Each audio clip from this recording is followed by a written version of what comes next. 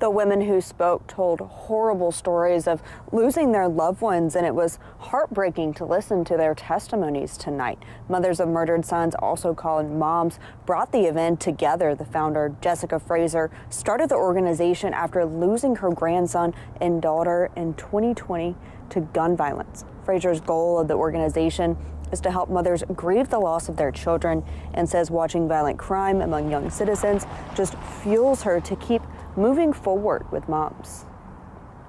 Pushes me to do more because we need to bring an end to this because this is getting ridiculous. We just want to spread the word and see if we can get these young men to put these guns down.